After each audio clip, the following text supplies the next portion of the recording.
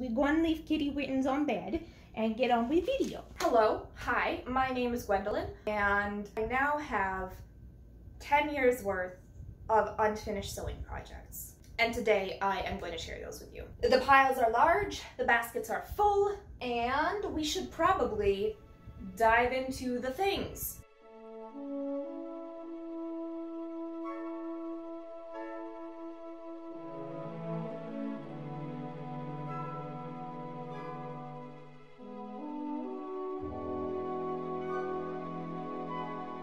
Let us start off with the most recent project, which I have brought with me. My lovely friend, let's bring her up over. It's my most current project. It's the one I am still the most excited about finishing. This is going to be an 1810s uh, Regency era, Jane Austen, if you're literary, early 19th century dress. Cotton, it's lined with white linen, um, hand sewing most of it because sometimes it actually makes me feel calmer and saner to hand stitch. But there's a lot of work left on this one to do. So as you can see, the bodice is sort of half together. The skirt is like together, but none of the pleats or gathers are in. Everything else is cut out. There's pattern, sleeves, trim, needs to finish going together.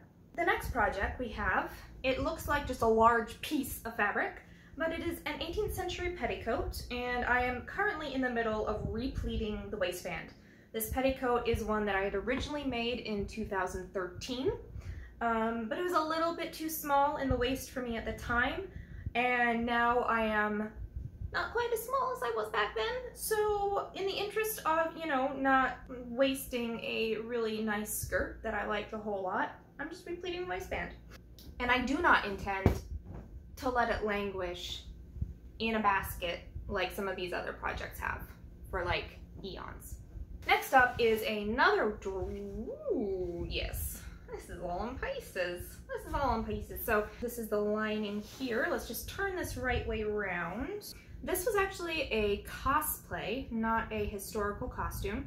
Uh, Queen Magdalena from Galavant, which is amazing and hilarious, and you absolutely should watch it if you haven't it's sort of medieval-ish, but her styles are very sort of like high-waisted, almost Regency, which is kind of what I ended up going for in terms of construction.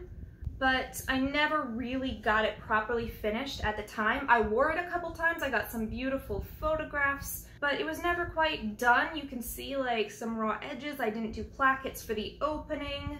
I had originally stitched this down and I was actually heavier when I made this than I am now. I've been up and down a bit over the past several years and it no longer fits so I thought why not kill two birds with one stone and refit it so that it's just right. Also like finish it properly. The sleeves are undone here because I actually made these sleeves a bit too tight in the lower arm and my little vent that I had here is not long enough to do anything. So I need to let the sleeves out a little bit and then like take in the sort of underbust sort of waisty section and like do finishings, plackets, etc, etc. Next up is actually a bit of modern garment. I have this shirt here, which was actually given to me by an Airbnb host and she saw that I liked peasant style tops and she had this one that she'd gotten in Mexico and she was like, here, would you like? And I said, yes, please.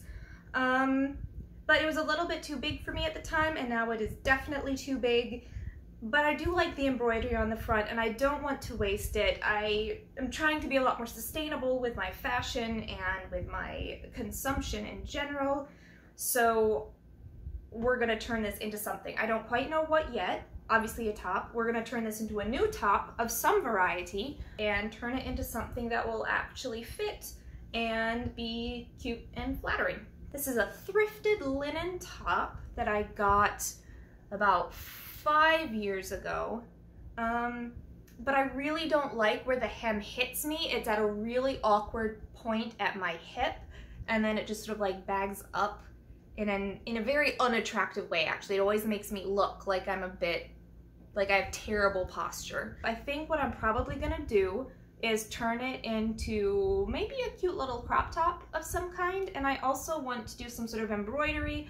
I don't know if you can see it at all, but there are a couple, um, I think they're actually like little, almost tar stains, grease stains, like in mechanical. Anyway, can't wear it, so it is in the project pile. This here, I'm showing you the back side actually. It's my favorite, most comfortable pair of just like loungy pants. They're harem pants, as you can see.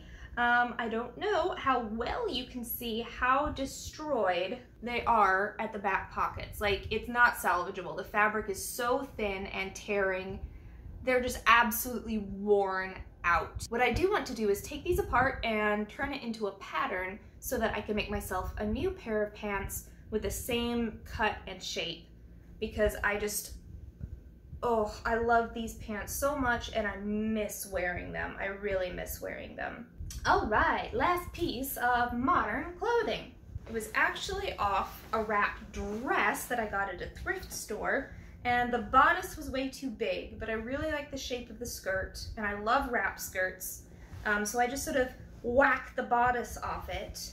So this just needs to be turned into a functional skirt.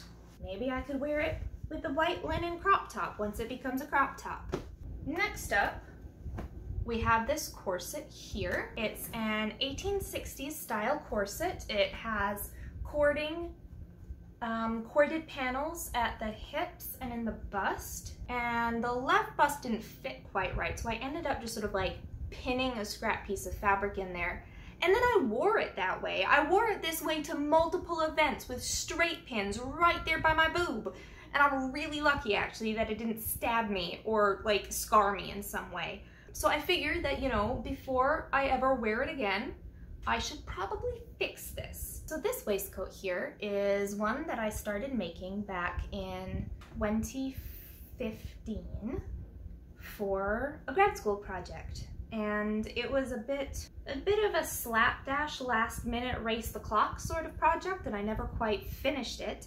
And I made it for a guy who clearly was quite a bit larger than myself, but I like the fabric, I like the bones of it, and I figured that since it wasn't really finished anyway, like no buttons, no buttonholes, nothing, it actually would not be that difficult to turn it into some sort of vest that I could wear. So it is sitting in my unfinished project pile until whichever point I feel motivated to actually turn it into a functional garment for myself.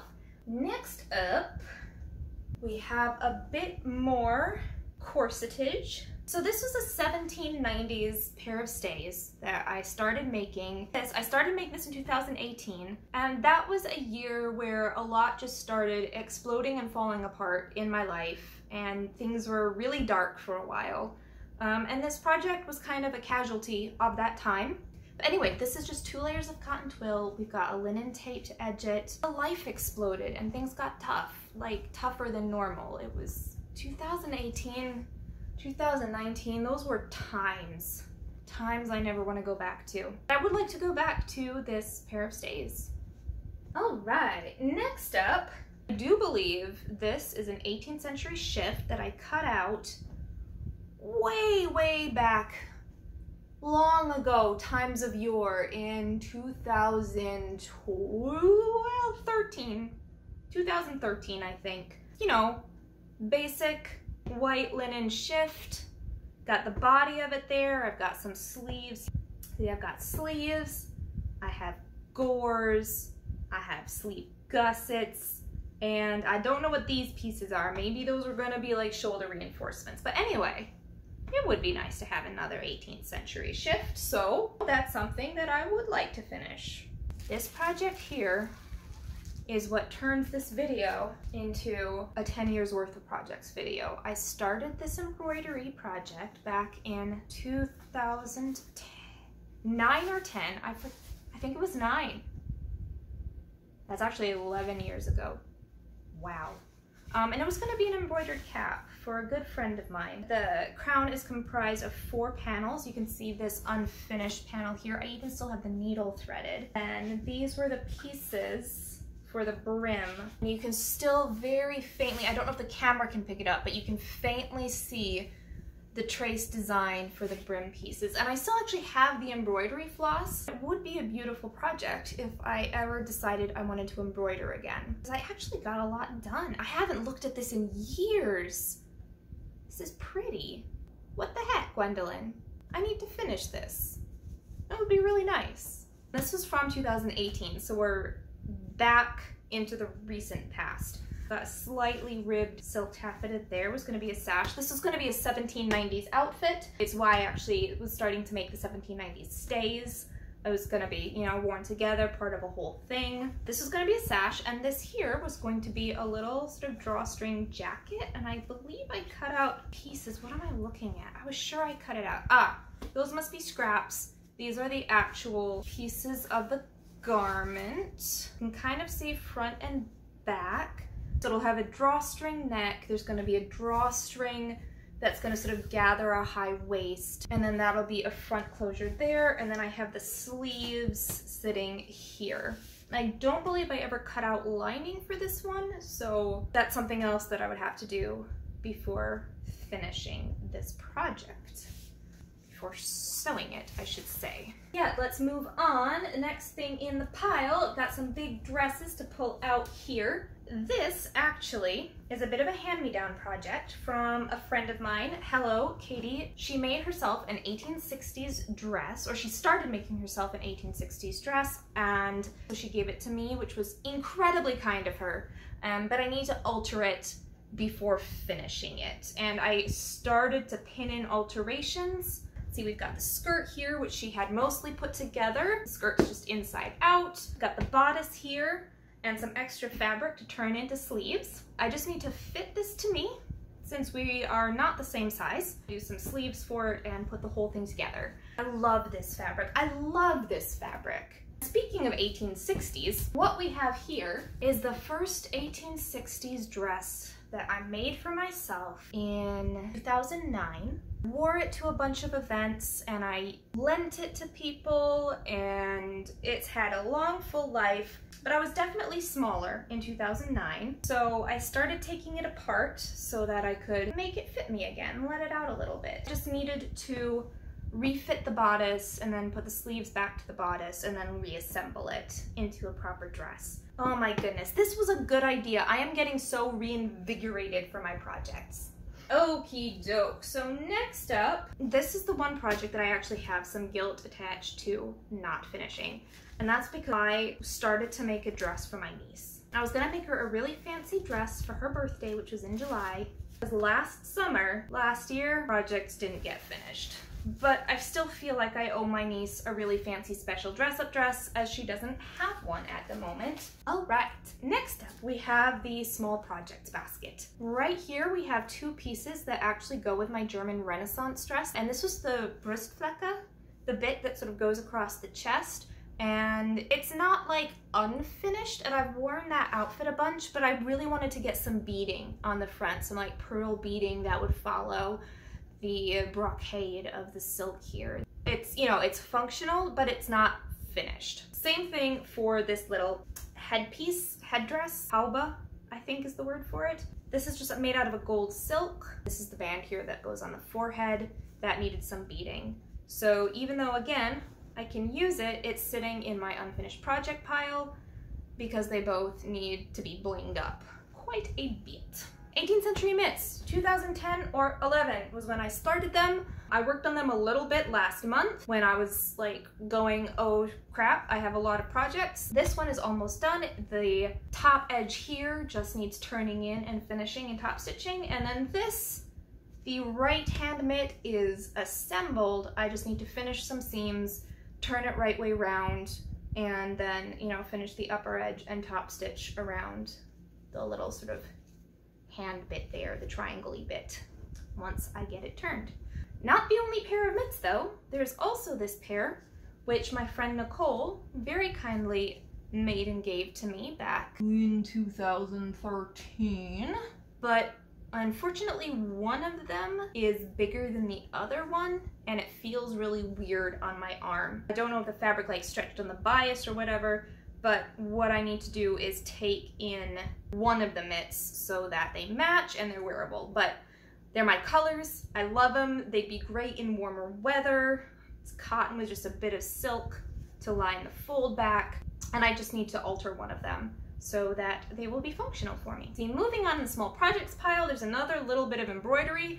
It looks like a squiggly S, but what this was gonna be was a corset bag. And this was gonna be a sort of C that sort of swooshed out and it would sort of say corset, like the rest of corset would be in there.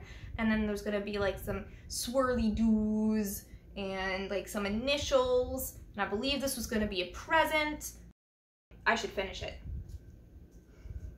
And last in this small project basket that I have is a stomacher, an 18th century stomacher that was going to button up the front or have a sort of faux button closure. Well, even if I finish the stomacher, I have a whole jacket that I have to make to go with it.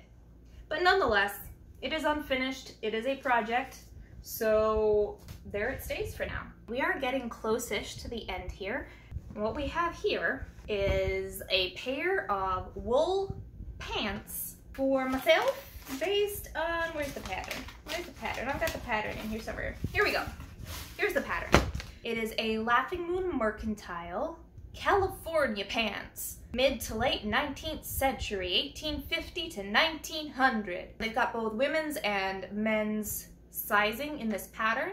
So even though it is 19th century style, um, the pattern still includes women's cuts and I thought that was super cool and I wanted to do like a whole sort of like historical boy look at that point. Um, so I started making these pants and a matching shirt to go with that. And this was the shirt pattern, also Laughing Moon Mercantile. The shirt got a lot more done than the pants did. You can see it's mostly together. It's even hemmed at the bottom. I've got the cuff on. I still needed to finish. Was I flat felling? Yeah, I was flat felling the sleeve on this side. I'd already flat felt this one and then I needed to do the collar and buttons and buttonholes. And then it would be a shirt. So this might actually go near the top of my to-do pile now. The reason this never got finished was, well, I was having my first depressive episode. I was in my early 20s. I didn't realize that it was depression and that even though I didn't want to be depressed, mental health doesn't work that way. So I spent a whole lot of time at that point just like sitting on the floor and crying, which does not help you when you're trying to get sewing done for an event. So when the event passed and the hand got finished, I put the projects to the side and then like moved on to other stuff that I focused on instead. I still like all these projects. I like the fabric choices, I like the designs, and there are things that like I want to have. So moving on. This is just my little sewing basket that I carry my little sewing tools around. And these are all pieces of an 1860s headdress I was making. And these will all just sort of like line up and they'll get gathered together and then this will like be a little bow and it'll sort of like almost go around the head and there'll be like more ribbity bits and dangles and some beads and it's gonna be really cute I think if I ever finish it. Considering I started this one in 2012. This was 2012 I started making this. We'll see if I ever get around to it. When quarantine started, I actually did a few more of these little rectangles, sewing the lace onto them. And then I got bored again, which is probably why I abandoned it in the first place. But eventually, you know, maybe in another eight years, I'll actually get that one done. And speaking of things being done, I think we're done with this video. Thank you for coming along on this weird little nostalgia memory trip, um, for putting up with me through all of this rambling. I definitely went on a few tangents here and there, and this has reminded me how much I love my projects and how much I really like making videos as well. So hopefully I'll see you guys really soon. Thanks. Bye.